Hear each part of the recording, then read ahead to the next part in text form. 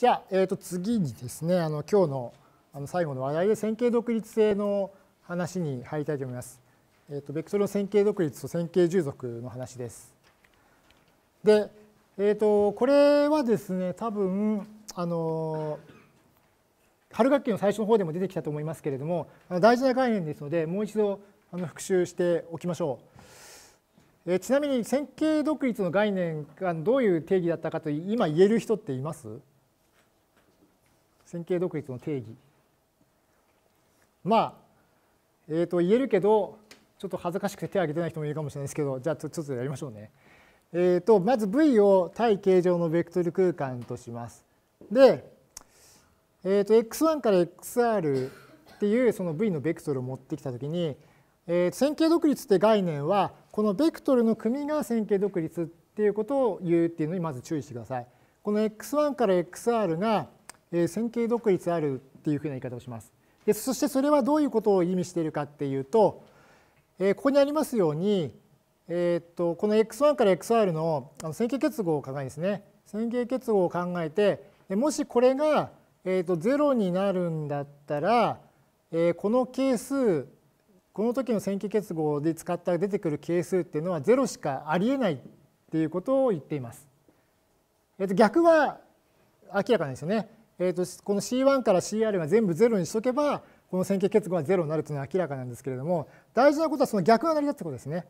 C、この C1x1 から CRxr の和が0になるならばその係数っていうのは0っていう0000っていう組み合わせしかありえないっていうのがこの x1 から xr が線形独立であるというの定義です。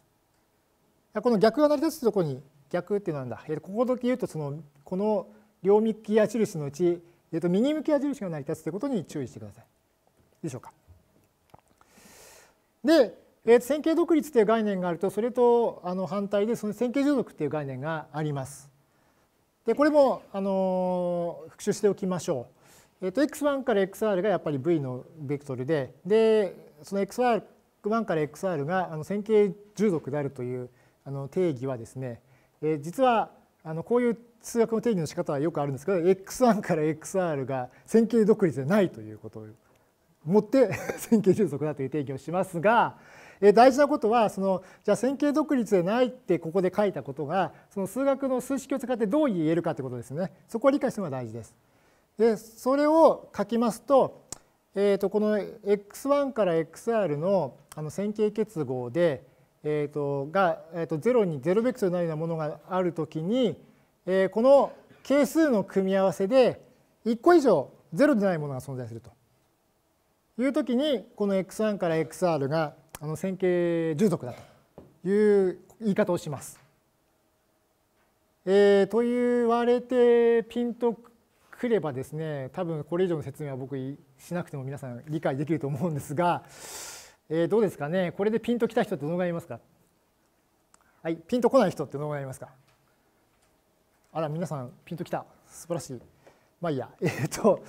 えー、一応ですね、あの今日はその最後に、その線形独立、もしくは線形従属のちょっと、その、なんで視覚的なビジュアル的な例を少し用意しましたので、ちょっとそれを説明したいと思います。で、えー、とまずあのベクトルのその線形独立の例なんですけれどもこれあの数ベクトル空間 R3 という、まあ、ベクトルを考えました。でここでえー、と x1、x2、x3 という 3, 3個のベクトルがあの線形独立であるということは、えー、このですね、えー、と線形結合が0ベクトルに等しいときにこの係数は0っていう組み合わせしかないっていうことなんですけれども、まあ、これちょっと視覚的に確かめてみましょう。で、えー、とここではですねあの実際にこの v1、v2、v3 っていうこういうベクトルを取りましてでそのをこんなふうにあの R3 の空間の中に書いてみました。でまあここに V1、V2、V3 っていうあの3本のベクトルがあってその和がですねここ今赤いベクトルで表せています。で、えー、じゃあこれをこの赤いベクトルが0になるようにするためにこの V1、V2、V3 のこう長さをいろいろ変えて組み合わせてみたらどうなるかっていうのをちょっと見てみますね。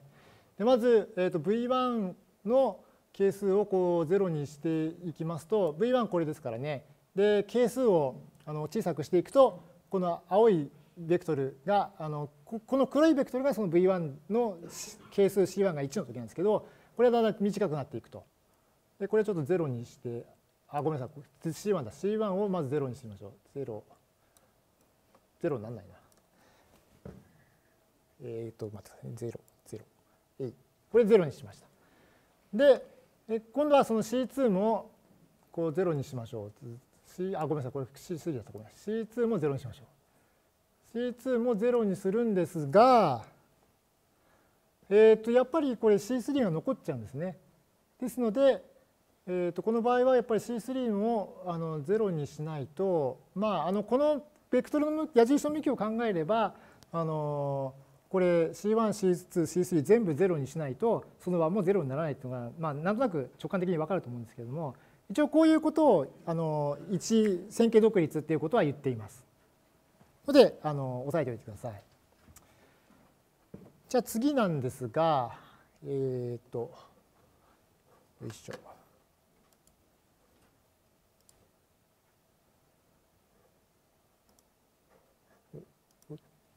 次なんですけれどもじゃあこの今度はそのベクトルの線形接続の例をちょっと考えてみます。と今度はあの R3 じゃなくて R2 ですねこの実実上の平面を考えています。でこの時に、えーと、xy、x2、x3 っていうその3本のベクトルを考えてでそれが線形従属じゃないっていう条件を考えると,、えー、と言い換えますとですねえー、例えばこの x3 がですねこの x1 と x2 の線形結合で表すことができれば、えー、これはあの x1 と x2 と x3 は線形従属だということが言えます。なぜならば、えー、ともし、えーとまあ、こんなふうにですね表すことができたとするとこれ x3 をあの右辺に移行しますとあのこういう形になります。でこういう形になると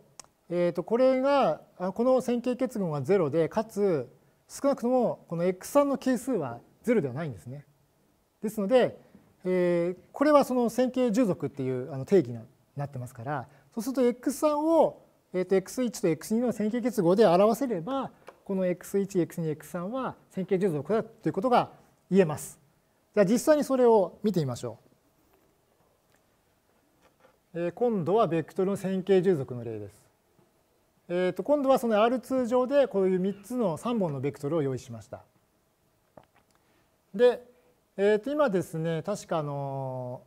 えー、とベクトルの 3, 3本目がこれでしたので、えー、この3本目今はあの V1 あ X1、X2、X3 のあの和がこんなふうに赤いベクトルで表されて、えー、あじゃないこれ X1 と X2 の和ですねこの今度はこの赤いベクトルが x1 と x2 の和和なんですけれどもじゃあこの x1 と x2 の和を使って和がちょうど x3 に等しくなるようにこの係数を x1 と x2 の係数を調節しましょう。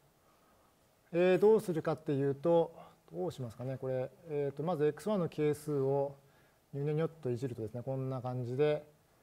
この x1 の係数をマイナスにしてみると、まあ、こんな感じでこう赤いベクトルがこっち向きます。で今度は x2 の係数を0に近づける0かな？あ違うな、えー、とマイナス方向に持ってくると、まあ、こんなふうにだんだん近づいてきますね。おっとっとっと。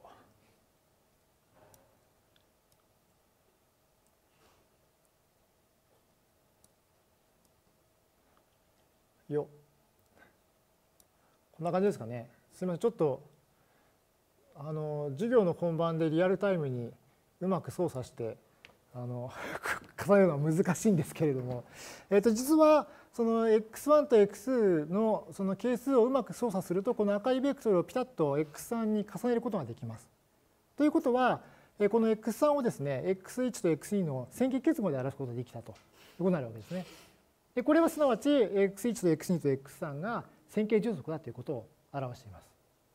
ですのであの x 今この例のようにそのベクトルが線形従属になっているっていう場合には、まあ、その組の中のあるベクトルが他のベクトルのまあ線形結合で表せるということとまあ同じだということをあの理解してほしいと思います。一応ちょっとこういう例ですけれども今日あの紹介しました。